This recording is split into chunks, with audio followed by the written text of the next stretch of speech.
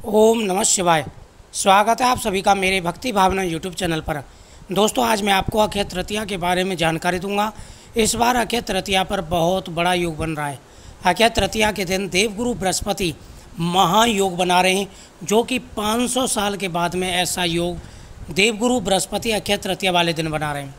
दोस्तों, आज के दिन सात राशियाँ हैं, जो बेहद ही भाग्यशाली जिनकी जानकारी मैंने पहले वीडियो में भी दी थी। अब मैं आपको विस्तार से बताऊँगा कौन कौन सी राशियाँ इस दिन बेहद ही भाग्यशाली रहने वाली हैं? और अक्षय तृतीया से लेकर के आगे कई सालों तक आपका योग बहुत ही अच्छा रहेगा। जब तक देवगुरु बृहस्पति इस राशि रहेंगे, तब तक आपका योग बहुत ही अच्छा रहने वाला है। लगभग डेढ़ साल के लिए आपका समय बहुत ज़्यादा शुभ रहेगा। अब मैं आपको जानकारी दूँगा, ये राशियाँ शीघ्र ही पुत्रवान और धनवान होंगी। सबसे पहली है मेष राशि। दोस्तों, मेष राशि का योग बहुत ही अच्छा है। मेष राशि के अंदर तीन ग्रहण की युति बन रही है, इसलिए मेष राशि भाग्यशाली राशियों में से है। शीघ्र ही पुत्र का लाभ, धन का लाभ और बिगड़े हुए कार्यों में सफलता मिलना शुरू हो जाएगी। दूसरी राशि है वृषभ राशि, जिसका योग बहुत ही अच्छा है। वृषभ राशि वालों को सफलता मिलेगी। संतान का, धन का लाभ है। कार्यों में सफलताएँ मिलना अभी से शुरू हो जाएँगी और धीरे धीरे आप बहुत ज़्यादा तरक्की करोगे। कुछ बातों का विशेष रूप से ध्यान भी रखना, जल्दबाजी में कोई भी कार्य आपको नहीं करना है। तीसरी राशि है मिथुन राशि।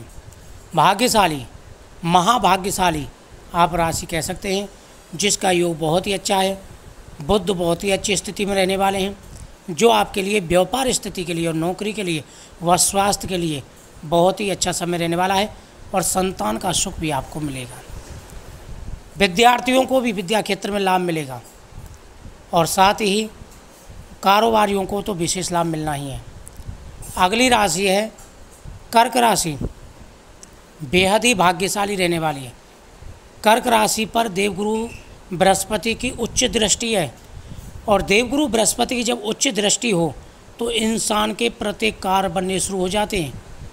हर प्रकार के कार्यों में सफलता आती है। जीवन में आ रही सारी समस्याएँ दूर हो जाती हैं। वही अगर आप काउंट करोगे तो देवगुरु बृहस्पति आपके बहुत ही अच्छे स्थान में बैठे हुए हैं, जो आपको माला माल करेंगे, पुत्रवान बनाएँगे।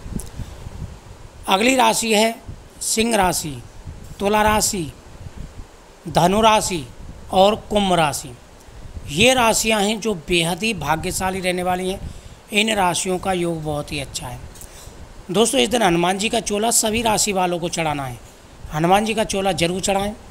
सिंदूर का चोला, हनुमान जी को नैवेद्य अर्पण करें, चूरमे का भोग लगाएँ, खीर का भोग लगाएँ। इस दिन माता लक्ष्मी की पूजा ज़रूर करें, घर में कोई ना कोई चीज़ खरीद करके ज़रूर ला करके रखें, जिससे आपको विशेष लाभ मिलेगा और आपकी मनोकामना पूरी होगी। इस दिन योग बहुत अच्छे बन रहे हैं। सभी राशि वाले उपाय करें सभी राशि वालों की मनोकामना पूरी होगी। वीडियो को शेयर करें, चैनल को सब्सक्राइब करें। ओम नमः शिवाय।